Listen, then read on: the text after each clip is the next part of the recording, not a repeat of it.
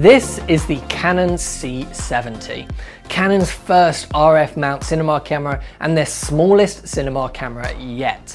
But don't let the size fool you, this little camera has some really impressive features.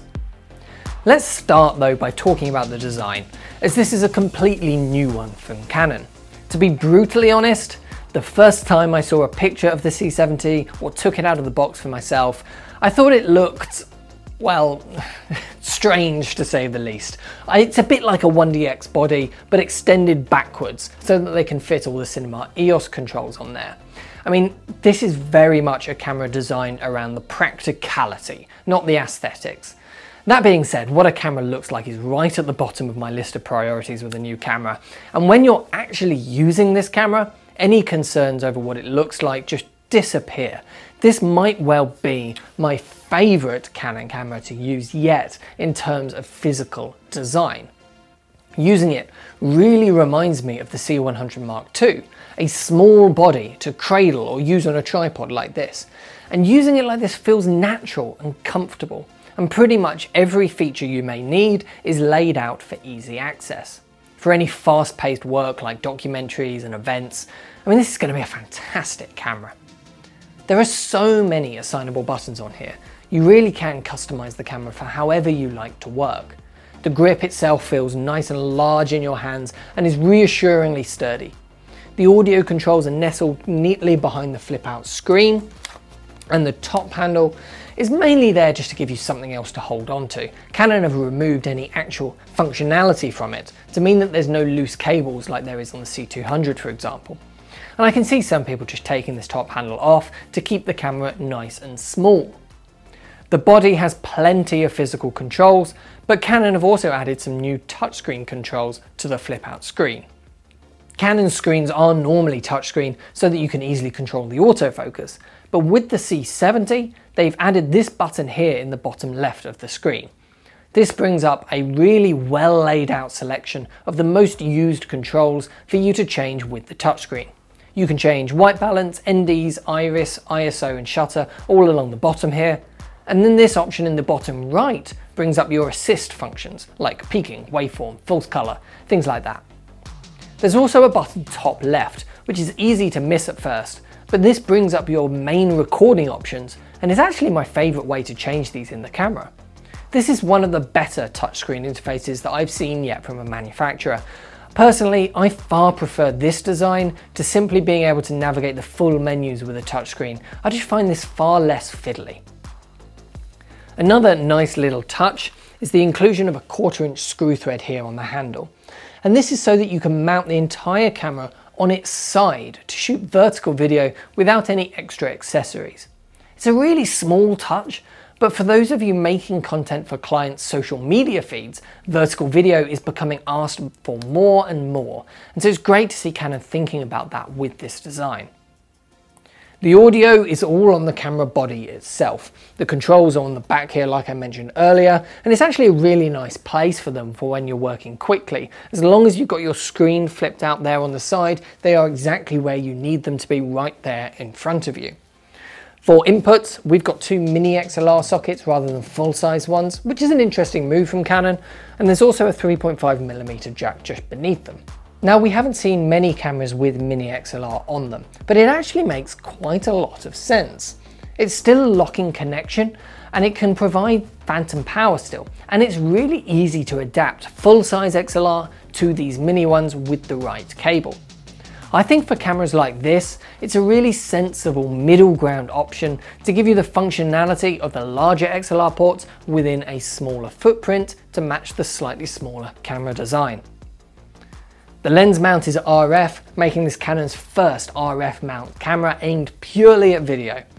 Now it's not a user interchangeable mount like on the C300 Mark III and C500 Mark II, you are stuck with RF, but that's not the end of the world. RF is easy to adapt to pretty much anything out there, and Canon have RF to EF mount adapters which work perfectly and even keep full autofocus performance. You don't need the ND mount adapter anymore either like you do on the R5 and EOS R because the camera has proper built-in NDs. And Canon have a new adapter just for this camera. This is an RF to EF adapter with a built-in 0.71 times focal reducer. So if you've ever used a Metabones speed booster or anything like that, this is the same idea. It means if you use a full frame EF lens, you will be shrinking the full image circle that that lens is capturing down onto the super 35mm sensor of the C70. So you get a wider picture, closer to what you would end up with if you were using a full frame sensor camera, and you get a brighter and a sharper picture as well as a side results. This mount adapter is a perfect pair with this camera. You can even use these screw-on sections which let you secure the mount even tighter to the camera body itself, which really helps it feel like it's part of the camera. The sensor itself is the exact same sensor as we've seen on the C300 Mark III. This means it's a super 35mm sensor with their new DGO technology to get the most dynamic range possible from the sensor. 4K is the maximum resolution, but you can push the sensor up to 120 frames a second in 4K and 180 frames a second in 1080p. Having 4K 120 in a camera like this is just fantastic. You even get audio as a separate file in your high frame rate mode, which is long overdue. Every camera should do that.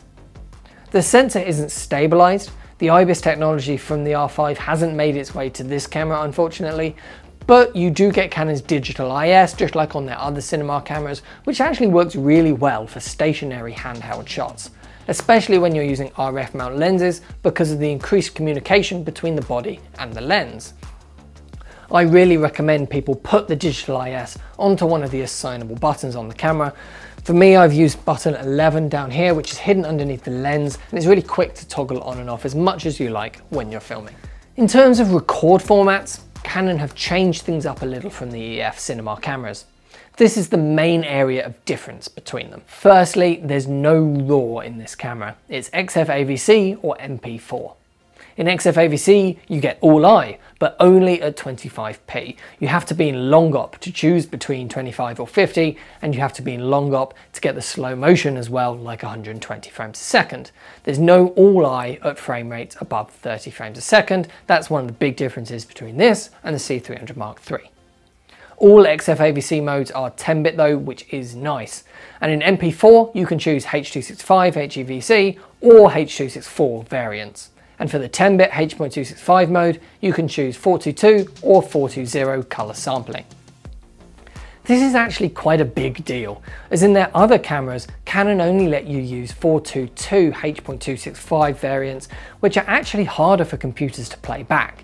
So until computer hardware catches up, it's great to get a 420 color space option, which shouldn't slow down your computer quite as much.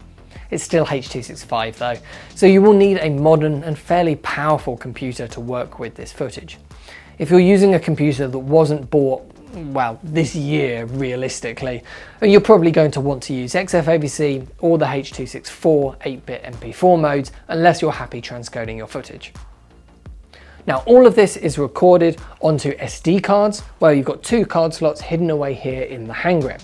And you can record pretty much whatever you want onto these. XFAVC to one and MP4 to another, same thing to both, 4K to one, 2K to another, simple proxies, or just use them for relay recording. You do get a lot of choice with your dual card slots.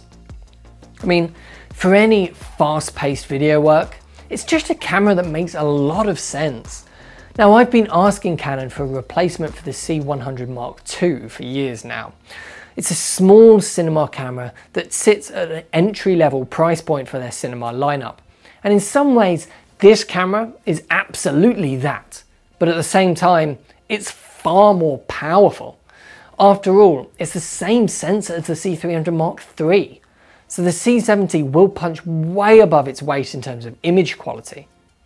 This is definitely higher spec and higher priced than I had in mind as that perfect C100 replacement camera. It's definitely in its own new category. But for the customers which I had in mind when picturing that modern C100, this camera does fit the bill perfectly. If you like the smaller form factor of mirrorless cameras, but you're only interested in video, not in stills. And if you need the professional video features that come with that, so proper audio controls, and most importantly, a control layout that makes sense for video that isn't designed for stills, you know, built-in ND, features like that, I just think the C70 is gonna fit the bill perfectly for most people. If you want to order a C70 for yourself, then head over to proav.co.uk. And if you've got any questions at all about the new camera, just let me know in the comment section down below. Thanks very much for watching, and I'll see you in the next one.